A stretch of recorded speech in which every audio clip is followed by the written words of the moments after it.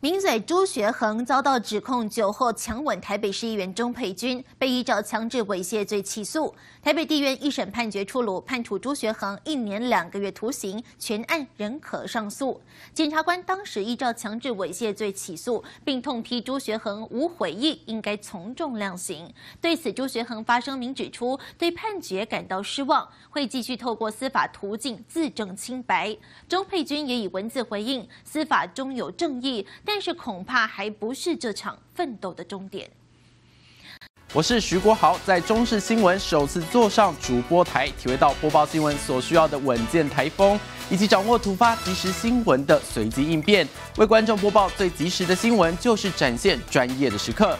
更多新闻，请锁定中视新闻 YouTube 频道，记得按赞、订阅、分享，并开启小铃铛哦。